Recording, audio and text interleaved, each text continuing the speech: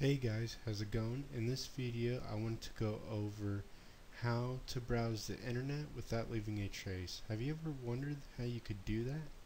Well, in this video I'm going to show you how you can stay anonymous online and encrypt and hide everything you do online without leaving cookies or even your IP address behind.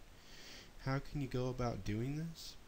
Well, we were going to be using is the Linux distro Tails. I'm sure you guys have probably heard of this before. If not, well then we'll be going over that for you.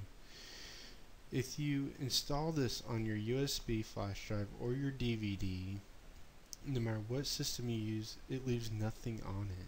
it leaves nothing behind. So, um, what is Tails? Tails is a portable encrypted Linux operating system that aims to protect your privacy and to keep you anonymous online. It's already preloaded with all the software you need to get started to browse the internet, email, instant message, edit files.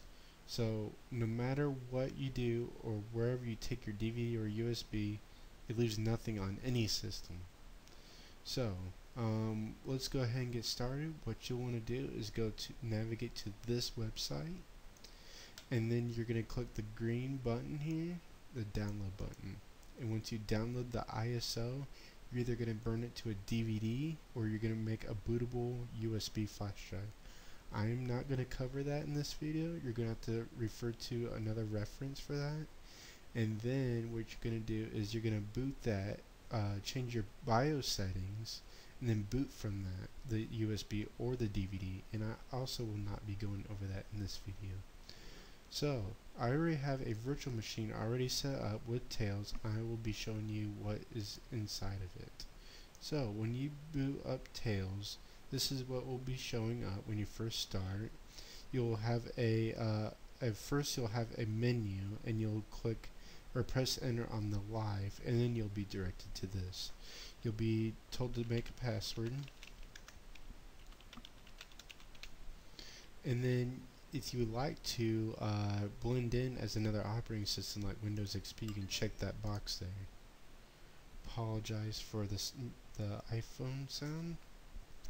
I'll put that on mute. Alright, the system is now booting up here. Let me, we'll just wait here for this to load. Well, it looks just like Windows XP because we just uh, we made that checkbox there.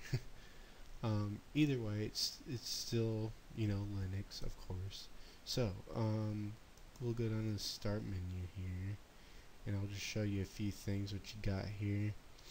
Um, the most important thing is probably the internet here in this category. You got Ice Weasel, your web browser, which is launching right now. What is Iceweasel? It's an anonymous web browser with Tor, and it has HTTPS everywhere, extensions, AdBlock Plus, NoScript, and a lot more. Um, you also have Claws Mail. Claws is an email client that uses Open BGP and email encryption so that you can send email through uh, mailing uh, and encrypt your mail so that nobody else can see your email. And then you have Pidgin, your in instant messenger. And Pidgin comes with OTR and cryptograph tool that encrypts all your conversations you make online with your friends and anyone else.